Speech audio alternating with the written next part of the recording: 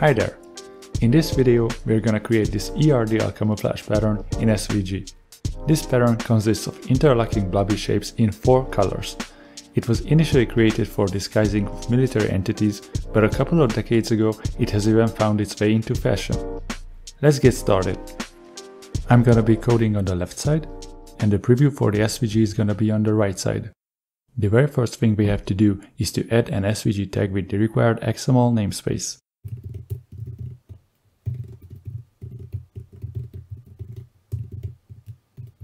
Let's also add a full-size rectangle with 100% for width and height.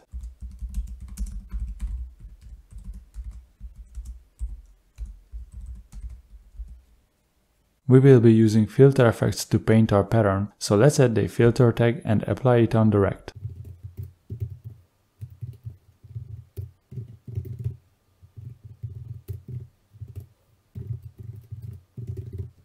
We need to generate some random shapes for our pattern. feTurbulence is a fitting and pretty much the only filter effect for that. Its output is Perlin noise, which we can later transform towards our goal.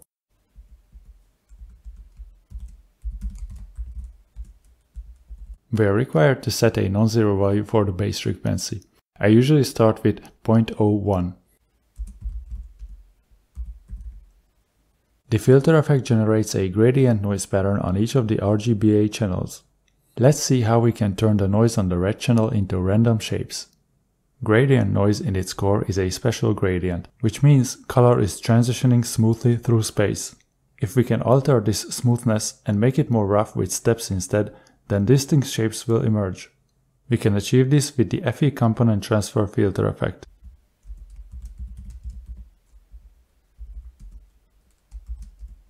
We have to add the FEFuncR element as its child to define the transfer function for the channel. Then we also need to set its type. The discrete type is used for defining step transfer functions, which is perfect for our case. The step function is described in the table values attribute. The simplest one I can think of consists of two equal width steps, 0 and 1. We can set the widths here, they will always be equal sized, so in our case they will be half of the range. We simply write the heights of the steps separated by space. Surprisingly, this didn't halve down the amount of red in the image, only a few small spots remain to have red in them. This is because the default type of feTurbulence generates a pattern that's not balanced in terms of intensity. Let's change the type of feTurbulence to fractal noise.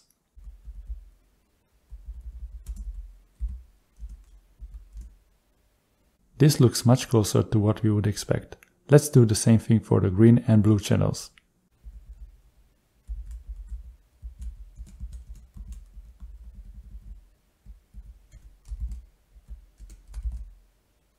We now see some color blending happening, but what we need is to make the shapes appear as they are overlapping.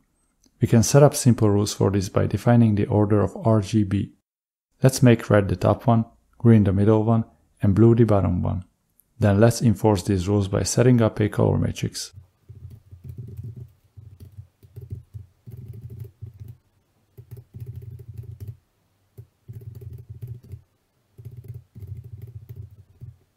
The color matrix defines a pixel-based transfer function where the input is the RGBA values and a constant, and the output is the RGBA values of the new pixel. The elements of the matrix are the multipliers of the input values and the results if these multiplications are added in each row to calculate the output components. First of all, let's make sure the output is opaque. We define the constants in the last column and the fourth row is used for calculating the alpha, so we set the last element to 1. Then let's just pass through red as we decided to make it top. Red input comes in the first column, red output is calculated based on the first row. Then let's also pass through green by setting the value in the second column of second row to 1. The yellow parts are where both red and green are present. As red should be over green, we need to make sure there's no green in these parts. Here's how the green output is calculated. The values in the second row are multipliers for R, G, B, A and constant 1 in order. The green output is the multiplication summed, then clamped between 0 and 1 inclusive. We already have 1 as the green multiplier, and if we make the red multiplier minus 1, then we can make the green output 0 where both components are present. Now red overlaps green. Let's add blue to the mix. The third column of third row set to 1 passes through blue. We have the same issue now. In addition to red, green should also be above blue. If we set the first two elements in the third row to minus 1, we are negating blue where there's red, or green, or both. Remember, if the resulting sum is negative, it will be clamped to 0.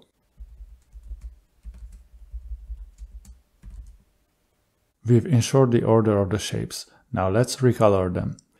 The camouflage pattern consists of four colors. We can pick one as the base color and recolor the RGB channels to the other three target colors. To be exact, here's our goal. Black shall become green, this is our base color. Blue shall become brown, green shall become light green, and red shall become black. We can add another color matrix to implement recoloring.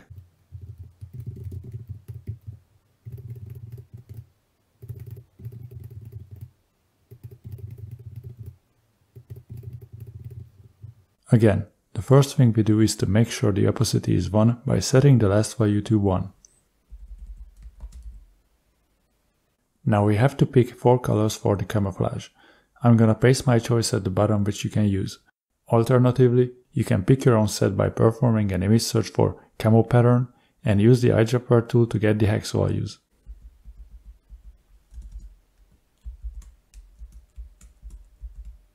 The next step is to fill the image with the base color. We can use the constant column for the color matrix for that, though we have to convert the hex value to linear RGB first. We can use the tool I built for exactly this purpose. You can find it following the second link in the description.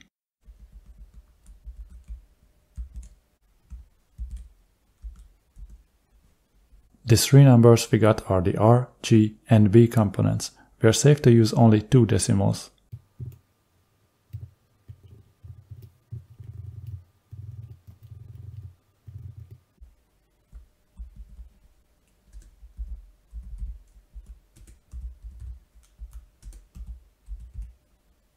Now it's time to recolor the isolated color components.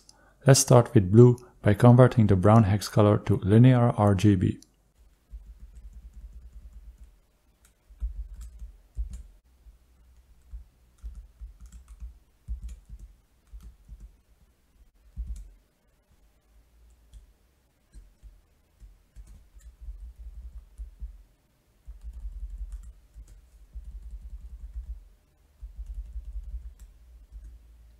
The blue input will be either 0 or 1, and its multipliers are in the third column.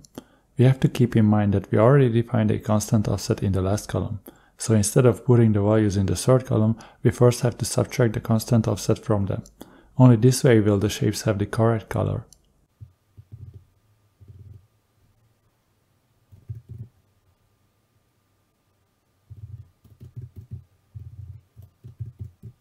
Let's move on to convert light green to linear RGB.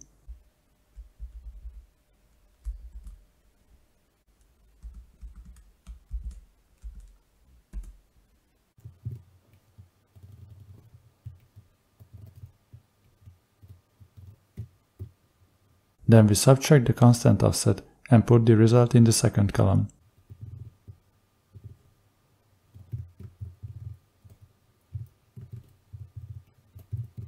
Finally, for the black spots, we simply negate the constant offset and put it in the first column.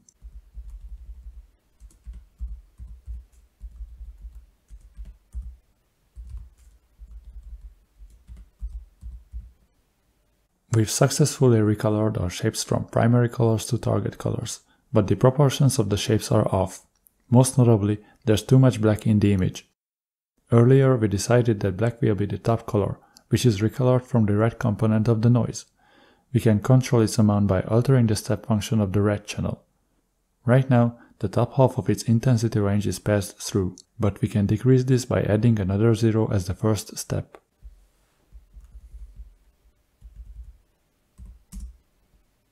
we narrowed down the pass-through interval to the top third of the intensity range. Note that the intensity distribution of the noise makes it so that not third of the image is covered in black, but less of it.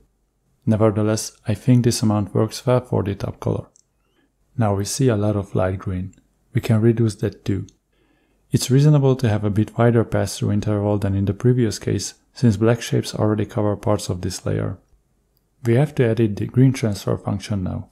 Let's do 2 fifths, that's a 40% wide interval. At this point, I feel like we are seeing adequate amount of all four colors, so we can leave the blue transfer function as it is. However, the shapes are kind of large, so let's double the base frequency to half their diameter. Another thing that could be improved is the outline of the shapes. The top layers have very round shapes, while on a camouflage these are much more intertwined. Luckily, we can leverage feTurbulence's attribute num octaves to add some further detail to the noise. An octave is double the base frequency and half the amplitude. This property is very similar to octaves in music, it doesn't change the core, but brings unique characteristics to it. The default value of the attribute is 1, so let's see what happens if we change this to 2.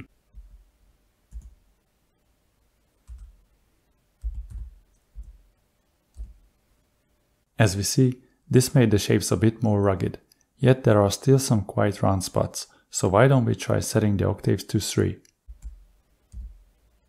This looks satisfying in my opinion, but we can try 4 octaves as well. 4 feels a bit too much to me. The light green and black shapes are starting to diffuse. I will just revert it to 3 and leave it at that. Now that we've established the filter chain for the pattern, let's think about variance. The number and outlines of the shapes are determined by the turbulence filter effect.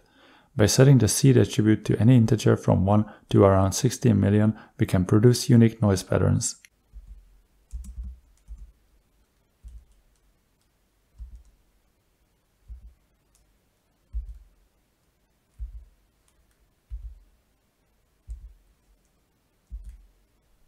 If the seed is not specified, the default value of 0 will be used, which produces the same result as if it has been set to 1. To keep things short, I will use this option and remove the attribute. Staying on the topic of keeping things short, we can also minify our code. The biggest opportunity is removing whitespace, but there are also smaller things like shortening IDs. The easiest way to handle these is by using SVGO, a Node.js tool. SVGO is for minimizing SVG files, and I have its command line version installed on my machine. All I have to do is to pass the SVG file as the first argument and it will overwrite it by the minified version.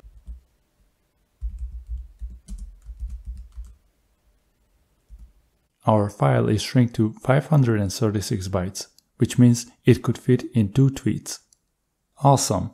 We just made a procedural camouflage texture from Perlin noise with less than 20 lines of SVG. You can check out the code following the CodePen link in the description. Thanks for watching and see you next time.